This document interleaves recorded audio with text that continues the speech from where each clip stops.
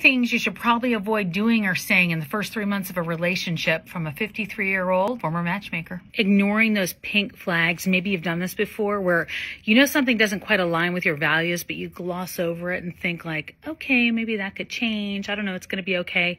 Face that head on. Don't pretend it's okay because it's not going to be. You got to be able to get real with yourself. Performing. I understand it's kind of natural to want to put on a show and be cool and do all these things that the other person likes. For example, I dated a guy for a while and I acted like I didn't care about traveling and I was fine staying home watching TV, but I wasn't. It's hard to keep that up. So start off being yourself, being natural. Lastly, moving in with them right away, saying they're the love of your life, having a full-fledged engagement just because your friend maybe got married or engaged early. Good for them. Let them do that. But for you, slow things down a little bit. You've got time. You're not on anybody else's timeline but your own. In fact, get to know them four seasons before you decide anything. You know what? You'll see them in all sorts of settings and you'll know if you're compatible in those situations.